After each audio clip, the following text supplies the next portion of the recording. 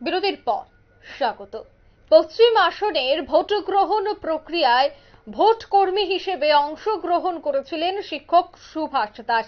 মূলত তিনি অভিযোগ করেছেন যে উনি শারীরিক দিক থেকে অনেকটাই অসুস্থ, যার জন্য তিনি নির্বাচনের কোনো কাজে অংশগ্রহণ করবেন না বলেও নির্বাচন কমিশনকে অনেকবার তিনি আবেদন জানিয়েছিলেন কাজ থেকে অব্যাহতির জন্য। কিন্তু তারপরেও নির্বাচন কমিশনের বার্তায় বা নির্বাচন কমিশনের কঠোর নির্দেশে তিনি কাজে যোগ দিতে হয়। তারপরেই যোগ দিতে গিয়ে অসুস্থ হয়ে পড়েন। সঙ্গে সঙ্গেই তাকে জিবি হাসপাতালে নিয়ে আসা হয়। গতকাল নিউজ ভ্যানগার্ড সেই সম্পর্কিত খবর আপনাদের সামনে তুলে ধরেছিল যে রোগী অর্থাৎ শিক্ষক সুভাষ দাসের স্ত্রী, তিনি করজোর আবেদন করেছিল যে, রাজ্য সরকার যেন সাহায্য সহযোগিতার জন্য এগিয়ে আসে। এবং নিউজ ভ্যানগার্ডের খবরের জের আজ অবশেষে।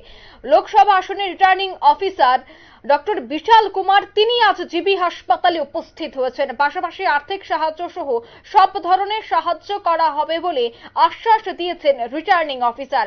অর্থাৎ গতকাল জিবি হাসপাতালে সুভাষ দাসের স্ত্রী তিনি অভিযোগ করেছিলেন যে ইলেকশন কমিশন বা সরকারি কোনো অফিসার ওনাকে দেখতে হাসপাতালে আসেননি। তারপরে নিউজ ভ্যানগার্ডের সেই খবরের জের পর আজ পশ্চিম ত্রিপুরা লোকসভা আসনের রিটার্নিং অফিসার তিনি সকালেই জিবি হাসপাতালে ছুটে যান। এবং সেখানেই সুভাষ দাসের শারীরিক খোঁজ খবর নেন চিকিৎসকের সাথে কথা বলেন এবং আশ্বাস প্রদান করেন যে সমস্ত দিক দিয়ে আর্থিক সাহায্য প্রদান করা হবে সে বিষয়ে বিশাল কুমার কি বলছেন সংবাদ মাধ্যমের মুখোমুখি হয়ে শোনাবো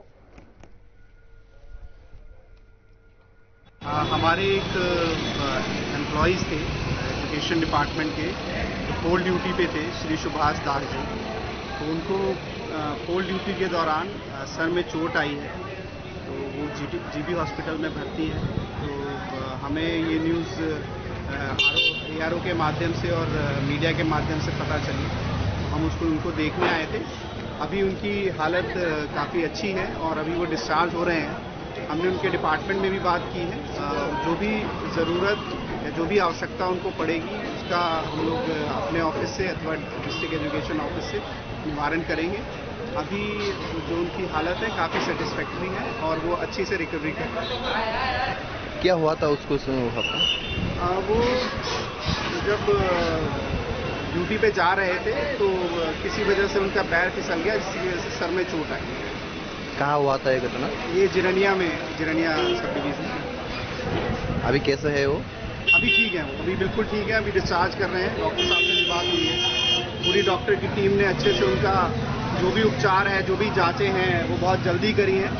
आप जैसे तारीख को भर्ती हुए, आज आज इक्कीस तारीख है, आज उनका डिस्चार्ज भी हो रहा है। थैंक यू আপনারা শুনলেন ট্রেডিং অফিসারের বক্তব্য। সাহায্যের আশ্বাস তিনি প্রদান করলেন, অর্থাৎ নিউজ ভ্যানগার্ডের খবরের জের গতকাল আমরা আপনাদের সামনে তুলে ধরেছিলাম যে অসুস্থ ভোট কর্মীকে দেখতে জিবি হাসপাতালে কোনো আধিকারিক উপস্থিত হননি, এমনকি নির্বাচনী আধিকারিকরা পর্যন্ত উপস্থিত ছিলেন না বা খোঁজ খবর নেননি।